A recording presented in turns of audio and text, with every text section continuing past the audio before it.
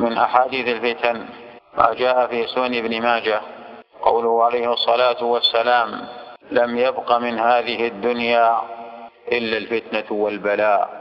ومن أحاديث الفتن ما جاء عند ابن ماجه من حديث حذيفة رضي الله عنه أنه قال قال رسول الله صلى الله عليه وسلم أحصوا من تلفظ بالإسلام.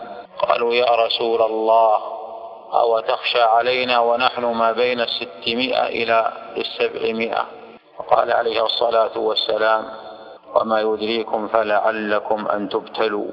قال فابتلينا فما استطاع أحدنا أن يصلي إلا سرا ومن أحاديث الفتن ما جاء عند ابن ماجه أن النبي صلى الله عليه وسلم قال إن بين أيديكم لهرجا يعني لقتلا فقالوا يا رسول الله ألا ترى أن نقتل من المشركين في العام كذا وكذا؟ قال عليه الصلاة والسلام ليس بقتلكم للمشركين إنما يقتل بعضكم بعضا حتى يقتل الرجل جاره وابن عمه وذا قرابته.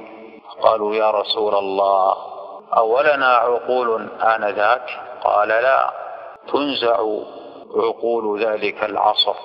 ويقلب فيه هباء الناس الذين لا عقول لهم.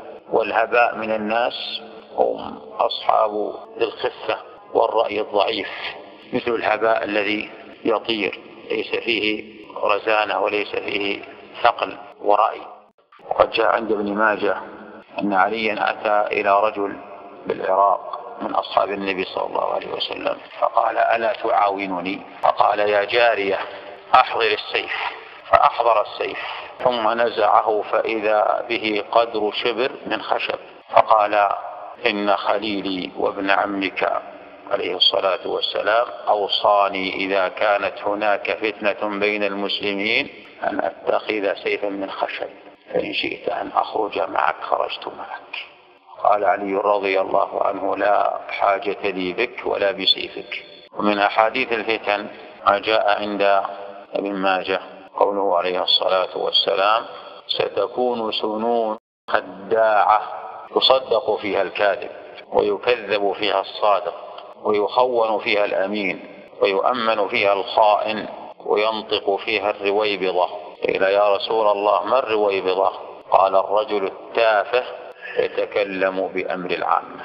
جاء في سنن ابن ماجه قوله عليه الصلاة والسلام يوشك أن يأتي بكم زمان يغربل الناس فيه غربلة. توضيح ذلك وتبقى حثالة الناس. يعني يذهب الأخيار ويبقى الأشرار.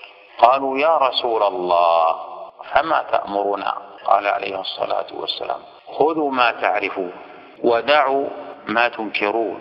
وعليكم بخواص أنفسكم ودعوا عنكم أمر العامة. جاء عند ابن ماجه قوله عليه الصلاة والسلام يكون مسخ وخسف وقذف. في رواية أخرى عند ابن ماجه قال في أهل القدر وأهل القدر خرجوا في العراق. الذين ينكرون أن الله عز وجل يعلم الشيء قبل وقوعه. تعالى الله عما يقولون علوا كبيرا. ومن أحاديث الفتن جاء عند ابن ماجه أن هناك ملحمة وهي التي بين المسلمين والروم وموعدها بعد الفتن وتكون في آخر الزمان موطنها في الشام.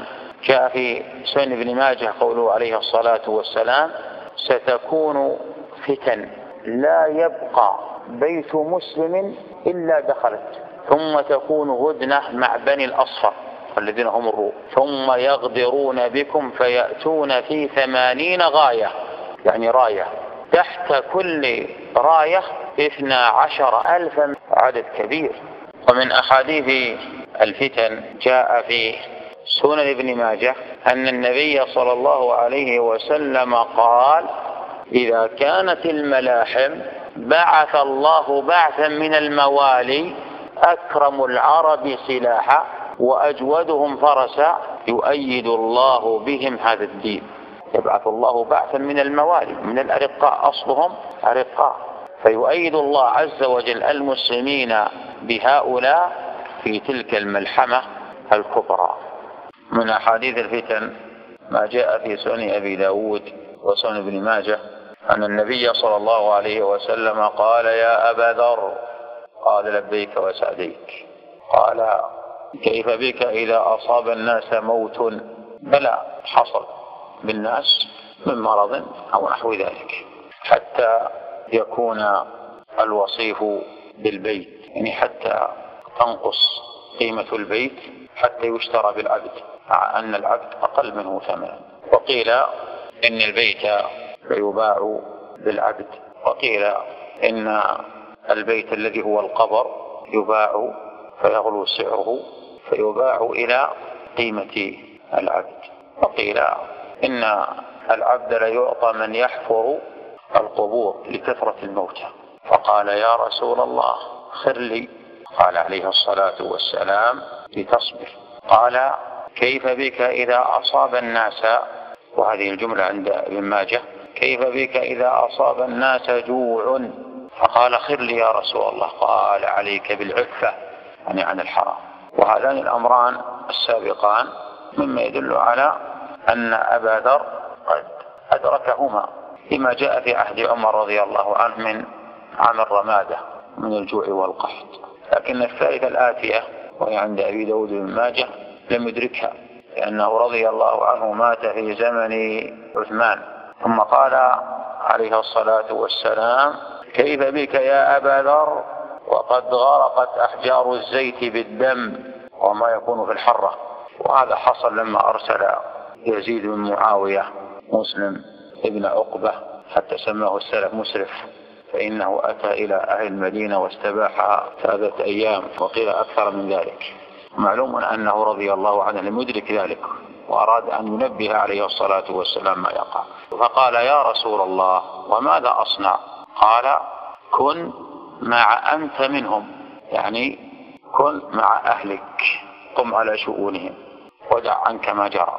وقيل إن كان هناك إمام قد واليته فلتعطه ما بايعته عليه. قال يا رسول الله ألا آخذ سيفي؟ قال إذا شاركت القوم. فقال ماذا أفعل يا رسول الله؟ قال إلزم بيتك فإن جاء أحد ليقتلك وخشيت أن يظهرك شعاع السيف فضع كساءك أو نحو من هذه الكلمة حتى يبوء بإثمك وإثمه. وفيه إرشاد منه عليه الصلاة والسلام أن يكف عن القتال في الفتنة.